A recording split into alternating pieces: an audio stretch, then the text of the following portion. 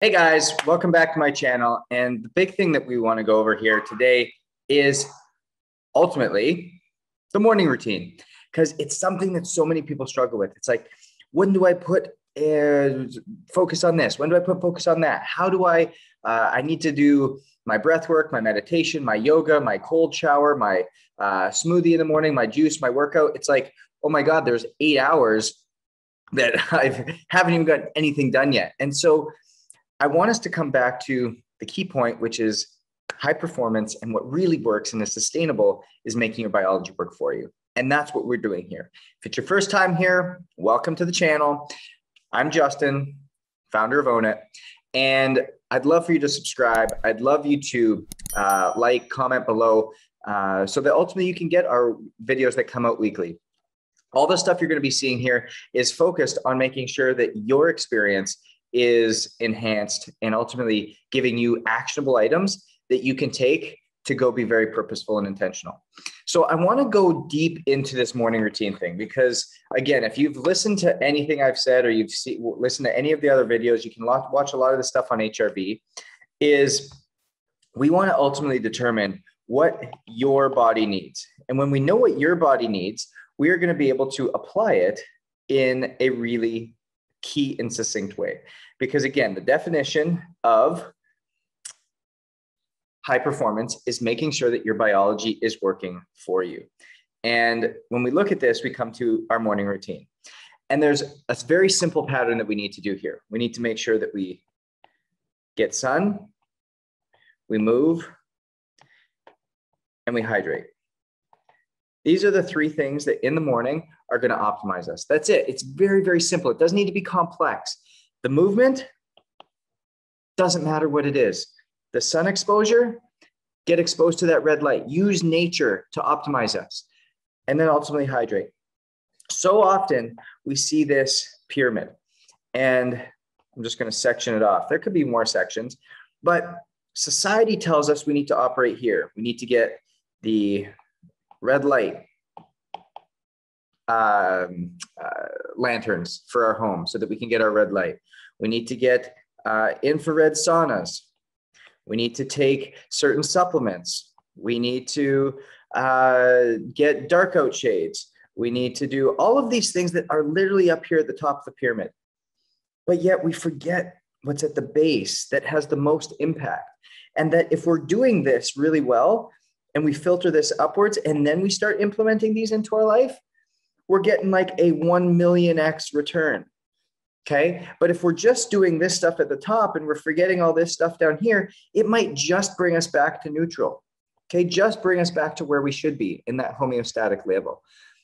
But ultimately, getting back to clarity and what we need to do, this should all happen in the first 10 minutes upon wake up. Now, what does this look like? We want to get sun exposure. Okay. So we want to see the sun. Okay. It can be the sunrise, but it wants to be direct because we have on our skin and on our eyes something called photoreceptors. Those photoreceptors take in light and reset our cortisol melatonin cycle. Be sure to watch this video right here that talks about cortisol melatonin cycle and how it impacts sleep and how it's ultimately what determines your circadian rhythm. Cortisol, when it's high, melatonin has to be low, no option. And over the course of the day, we see this happen so that cortisol is high in the morning, melatonin's low in the morning, melatonin's high at night, cortisol's low at night. And this is why making sure that we're in this rhythmic state is key. Movement, figure out what works for you. It could be yoga, it could be a walk, it could be a HIIT workout, it could be a uh, weight training session, you name it, but some type of movement. Okay. And then hydrating. We want to get somewhere in the neighborhood of 16 ounces of mineralized water. Okay. First thing in the morning. If we can hit these three things, it's going to set us up for a really positive day and a ultimately a maximized energy level because we're going to be having that peak um, uh, peak level of cortisol in the morning as well. Now, how do we know that it's working? We come back to HRV. And that stands for heart rate variability. Again, watch this video right here walks you entirely through what HRV is, the complete guide to HRV. everything you need to know in five minutes. Okay. Be sure to take a look at that. What this is, is it's understanding how our body's adapting to the stress or strain that's being placed under it. Now, if we do this in the morning and we see that our HRV is driving and we've or is diving, it's going down. We've been doing HIIT workouts every morning. Um, we've been getting uh, direct sunlight through a window, and we've been only getting eight ounces of water in. Well, means that our body is not adapting well. So let's change it up. Maybe our yoga becomes the first thing we do. Maybe we go outside to get access to this. And then let's actually hit our 16 ounces.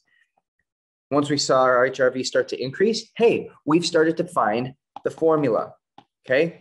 Your formula for that morning routine, but they only need to include these three items. Now, for myself, how do we plan this? How do we make sure we know what's going on? Every Sunday, we do what's called the weekly meeting. And this is crucial for making sure that your week is set up ideally. Because what we do is we section off Monday through Friday, that first block in the morning, that first wake up time. What time are we getting up? Okay. Wake up time, it's constant. Why? Again, going back to circadian rhythm, consistency is key. So we're going to wake up at 6 a.m. We know that by 6:10, we're doing our morning routine. Okay. That is what we're doing. That is what we have planned. And then from 6:30 onwards, okay, 6:30 on, we have our action steps. What are we getting into? Is it that we are getting uh, work done? Is it we're writing emails? Is that we're uh, getting our family ready to go? But it's structured. And we know that every single morning we are getting into that morning routine that looks like one of these three entities sunlight, movement, and hydration. Because remember, there's four things that we cannot live without. We can't live without food or nutrients, water, air, and sleep.